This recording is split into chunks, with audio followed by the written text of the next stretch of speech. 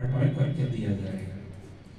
तो जो भी जिनके लिए सरकार ने ये इस योजना को क्रियान्वित किया है, उनको थोड़ा सीरियस होना होगा। अगर उनकी उपस्थिति कम रही तो ऐसी स्थिति में फिर उनको वो लाभ नहीं मिल पाएगा।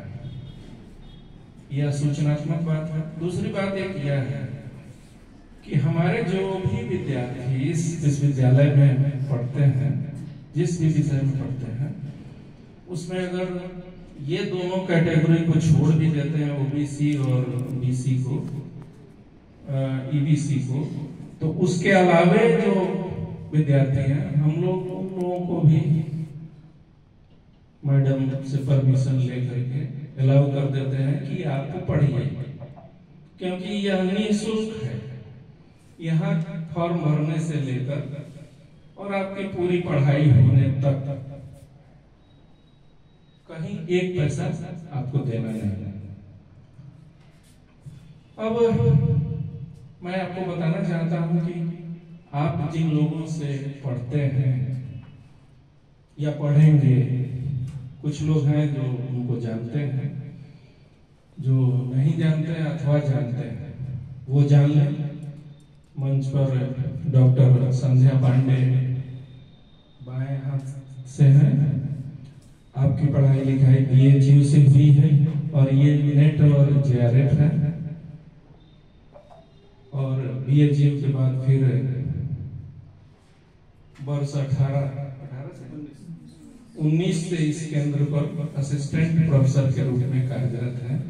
डॉक्टर संध्या पांडे का हार्दिक अभिनंदन और उन्हीं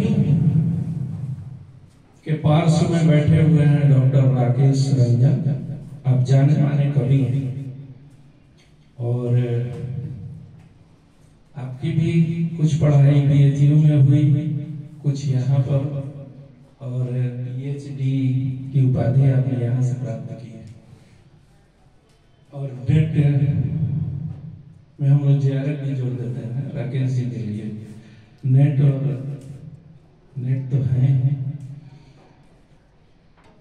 आपका इस सभा में जो आपके रिसोर्स पर्सन होंगे आपके टीचर हैं, जब हिंदी की कक्षा में हैं तो आपके टीचर हैं, लेकिन जब नेट की कक्षा में होंगे तो ये संसाधन पुरुष होंगे, आपके रिसोर्स पर्सन होंगे।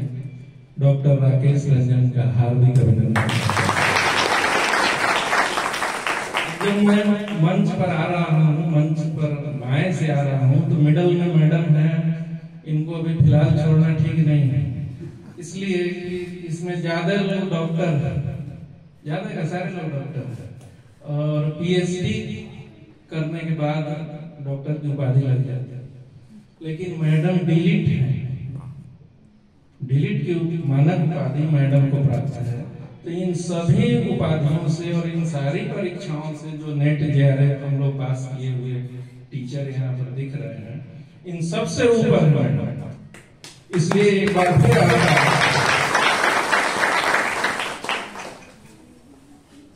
इधर मैडम के बगल में डॉक्टर साक्षी सालनी इनकी पढ़ाई इसी केंद्र से हुई है। और ये नेट क्वालिफाइड है। और आपके बीच संसाधन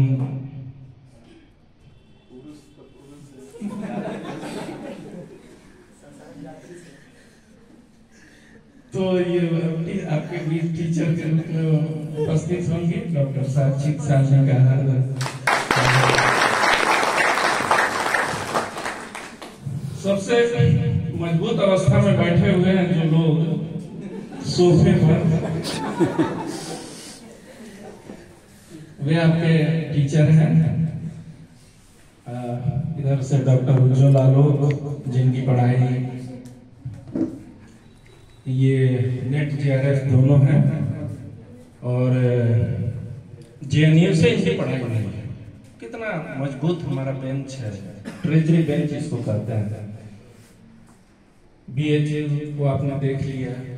अब जे से पढ़े हुए हैं और नेट भी हैं जे भी हैं और आपके बीच लगातार उपस्थित होंगे। यहाँ आप उपस्थित हैं। डॉक्टर उज्जवल आलोक का हार्दिक बीच में डॉक्टर सुशांत कुमार बैठे हुए हैं। डॉक्टर सुशांत की पढ़ाई भी बीएचयू से हुई। बीएचयू से होने पर बार बार बीएचयू, जेएनयू कह के हम आप लोगों का उत्साह बढ़ा रहे हैं। इसलिए कि आप यह जानिए कि बीएचयू से पढ़ने के बाद डॉक्टर सुशांत किस केंद्र से पढ़े हैं और अपने बैच में बैच के टॉपर रहे हैं और बिहार प्रशासनिक सेवा में रहे। और उसको छोड़ करके आपके बीच आए इस सेंटर से इन्होंने एमए की पढ़ाई की है और इसी सेंटर से इन्होंने शोध कार्य किया इसलिए बार बार हम कहते हैं कि हमारा जो सेंटर है, जैसे राकेश जी बीएचयू पढ़े लेकिन इस सेंटर से आकर इन्होंने शोध किया आज ये टीचर है। तो डॉक्टर सुशांत का हार्दिक अभिनंदन। मन संचालन कर रहे थे डॉक्टर पुष्पेंद्र। सारे लोग नेट जा रहे थे, करने की ज़रूरत नहीं और पुष्पेंद्र की पढ़ाई दिल्ली यूनिवर्सिटी में की और गुजरात में भी पढ़े। यहाँ टीचर रहे हैं। हैं अभी भी हैं। और इस कार्यक्रम का संचालन कर रहे हैं। तो आप ऐसे देखिए। डॉक्टर पुष्पेंद्र का हार्दिक अभिनंदन और स्वागत सभागार में बहुत सारे ऐसे विद्यार्थियों को हम देख रहे हैं, जो हमारे विद्यार्थी हैं, हिंदी के विद्यार्थी हैं, जो जेआरएफ हैं, नेट हैं, और पैट क्वालिफाई किया है। एक दर्जन के आसपास कुछ दिख रहे हैं इसमें। तो उनकी सफलता के बारे में आपको बताने का मतलब यह है कि अगला जो सफल व्यक्ति है, वो आप होंगे। यही हमारी कामना है। और ऐसे लोगों का और इनके साथ आप तमाम लोगों का हार्दिक अभिनंदन और स्वागत। तो स्वागत है भाषण अब थोड़ी बात कर लेते हैं। को लेकर तो मैडम को बुलाएँगे। ये नेट की जो परीक्षा होती है, वो देश स्तर की परीक्षा है। और, इन परीक्षाओं में उत्तीर्ण होने के लिए उसी तरह से श्रेणियाँ बनी हुई है, जैसे जैसे बिहार में नौकरियों के लिए श्रेणियाँ बनी हुई हैं। जैसे U R U R female B C, जिसको बी सी भी कहते हैं, E B C, S C, S T. एक वहाँ ई बी सी नहीं है। और एक अच्छी बात वहाँ पर यह है इसमें कि जो लोग नेट क्वालिफाई करते हैं, नेट प्लस जेआरएफ करते हैं तो जूनियर रिसर्च फेलोशिप में उनको फेलोशिप मिलता है, पाँच साल तक के लिए। दो साल ग्यारह रहता है और बाकी का तीन साल का सारठ हो जाता है।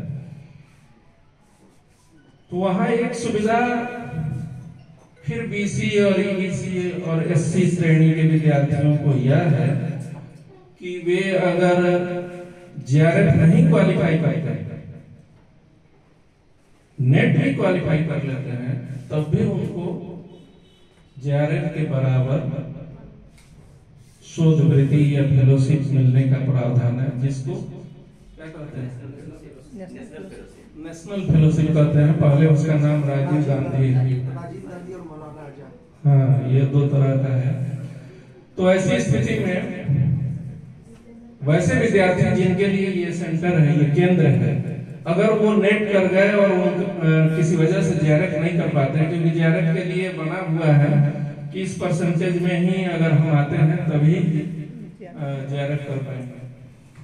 तो नेट करने वाले भी जेआरएफ के बराबर जेआरएफ के समान शोध वृत्ति प्राप्त करते हैं पाँच वर्षों तक के लिए।